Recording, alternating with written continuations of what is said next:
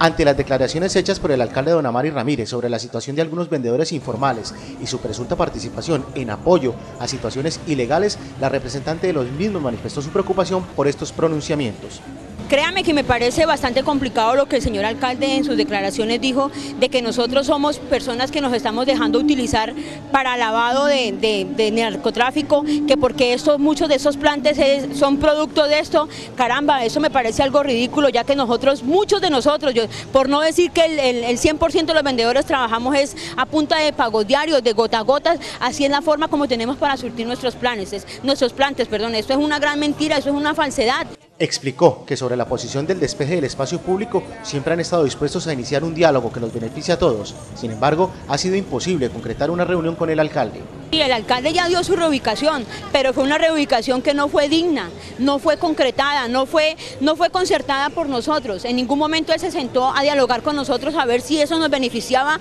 tanto a la ciudad como a nosotros. Él nos ofreció el tercer piso del OIT. Para nadie es un secreto que son bodegas